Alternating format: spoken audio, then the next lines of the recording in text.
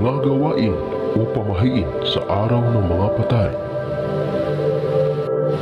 Nagkaugalian na nating mga Pilipino na sa tuwing araw ng mga patay ay nagkakaroon tayo ng kaunting handa para sa ating mga mahal sa buhay na matagal nang namaalam sa mundong ibabaw.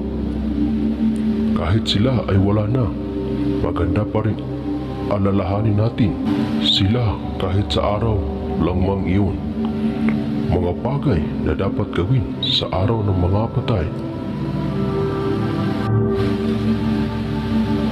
Una, mag-alay ng mga paboritong pagkain sa mga taong mahal mo sa araw ng mga patay at magtirik ng kandila sa harap ng altar bilang pag-alala sa ating mga mahal sa buhay na yumao na. At huwag kalimutang magdasal patungkol sa kanila para kahit wala na sila ay maipakita mo pa rin na mahal at mahalaga sila sa iyo.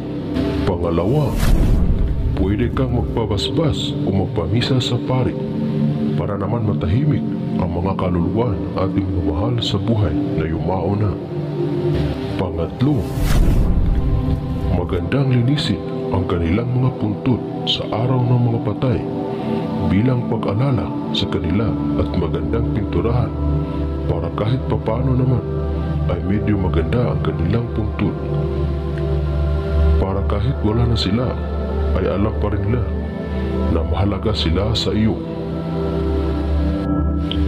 Pang-apat, sa araw ng mga patay ay magandang bisitahin ang kanilang puntod at mag-alay ng bulaklak, kandila at dasal.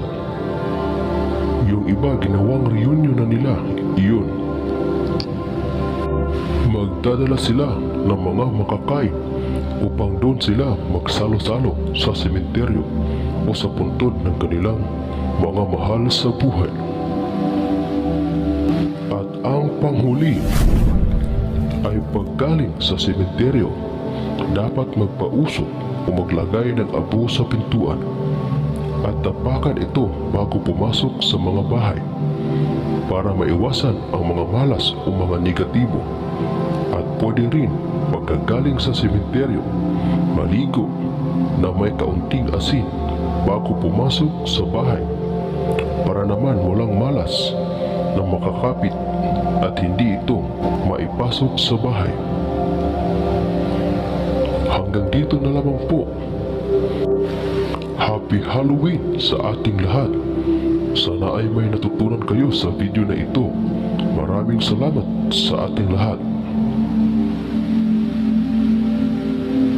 Yan po ang pamahiin sa araw ng mga patay.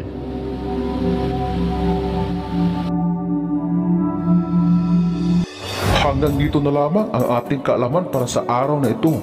Muli, maraming salamat sa inyong walang sawang panonood. God bless us all.